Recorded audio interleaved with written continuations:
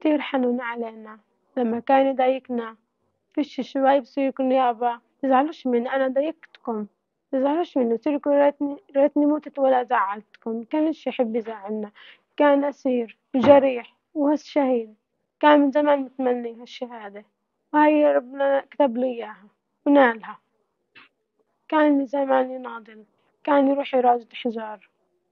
وانسجن. وتصاوب أكتر من مرة. آخر مرة يوم تصاوب. خرفت إنه بقى يموت. وعاش. وهاي الرصاصة هاي أخذت خلاص صوابها ومات فيها. آخر مرة أجا عندي أسبوع اللي مرض لف عندي بكل الدار. ويحكي لأمي تقول يلا نروح. يقول لا بديش أروح. أنا بضلني هون للتسعة. وهي تقول لأمي لا يلا نروح.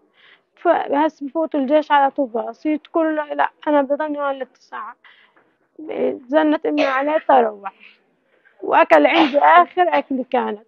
لو بعرف إنه هاي آخر مرة بفوت عندي دار كان ما خليتش يروح كان خليته ينام عندي. صلى صلاة الصبح. توضى وصلى صلاة الصبح. وهو طالع عالشغل وباقي الجندي واقف عقباله وصابه بالقناص